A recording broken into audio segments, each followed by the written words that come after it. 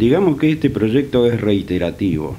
Siempre en épocas de elecciones se presenta un, proyecto, en este caso el 0505-2021, de en donde los movilizados, casi voy que le decimos nosotros, pretenden usurpar un título honorífico que es el de veterano de guerra, un título que nosotros defendemos porque quedaron 632 camaradas, compañeros, amigos, eh, personal de cuadro y personal de conscripto en tierra malvineras y en las aguas, cosa que no le vamos a permitir de ninguna manera usurpar ese título.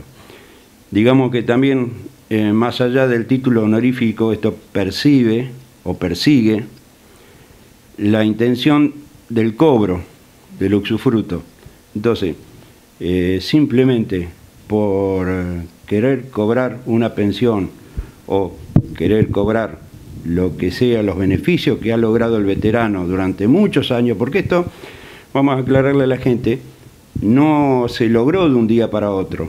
Fueron muchos años de lucha de la federación, de la confederación, de los diferentes centros de veteranos, para lograr que el veterano tenga un beneficio, así como dicen las leyes internacionales, como eh, lo dice la Constitución Nacional.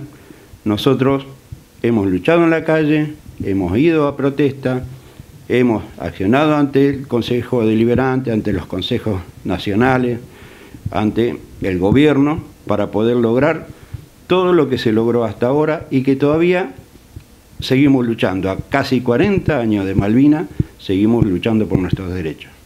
Bueno, eh, estas personas, eh, este grupo que eh, cada vez que hay elecciones presenta nuevamente este proyecto, Em, están queriendo ser eh, reconocidos como veteranos de guerra, pero ellos no estuvieron dentro del ámbito, vendría a ser.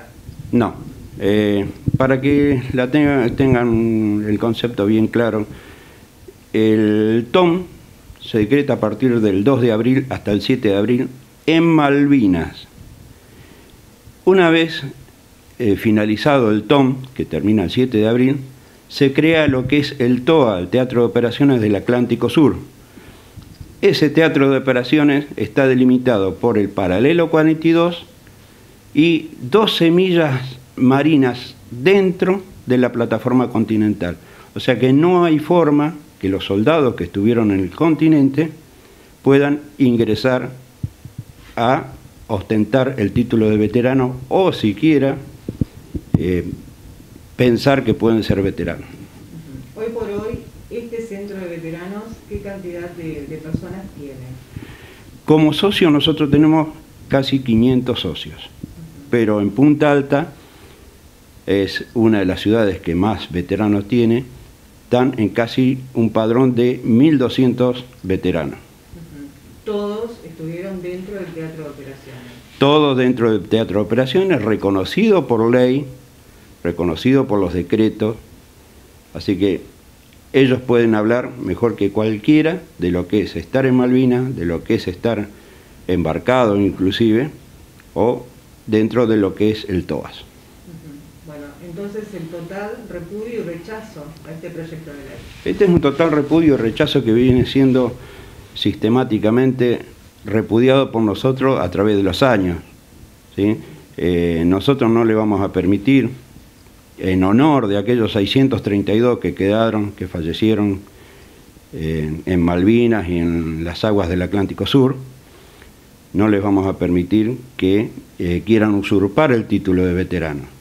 Así sea por el título o así sea por eh, querer cobrar una pensión o lo que sea. Le hago una pregunta porque bueno, en los últimos días viene resonando las palabras de una persona que hoy por hoy está de una lista de, política hablando, ¿no? Eh, estamos hablando de Sabrina Hitzich, que eh, allá por mayo decía que las Malvinas nunca fueron argentinas. Eh, esto también ocasiona repudio. Mira, no podría esperar más de alguien. No quiero usar malas palabras, pero para mí el que diga algo así es un descerebrado, no tiene idea de qué está hablando. Está mancillando el honor y la buena voluntad de aquella gente que fue a pelear. Yo le diría a Sabrina eh, realmente juntate con los veteranos, vení a hablar o habla donde puedas, anda a la confederación. El presidente de la confederación es un conscripto que trata de unir a todos, no solo a los conscriptos, sino a los suboficiales y oficiales que estuvieron peleando en Malvinas. Yo le diría a Sabrina, anda, informate, sé parte de todo lo que fue Malvina, porque es la única manera de mantener la memoria.